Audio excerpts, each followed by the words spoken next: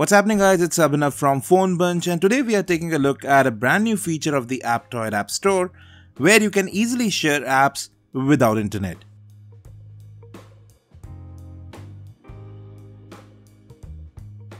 Now many of you may already be using Aptoide. It's an alternative app store. It has all the major apps available on its platform as well.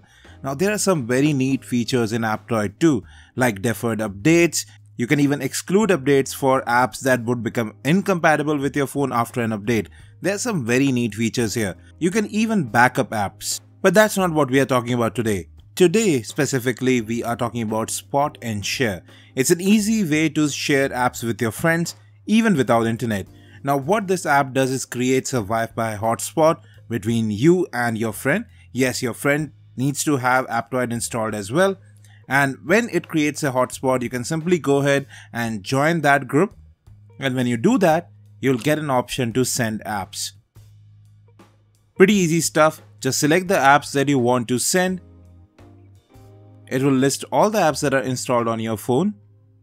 And just press the send button and they quickly get transferred to your friend's phone.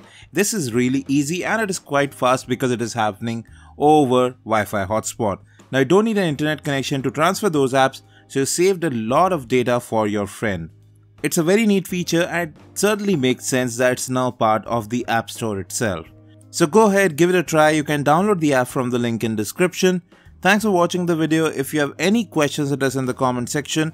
And as always, have a great day.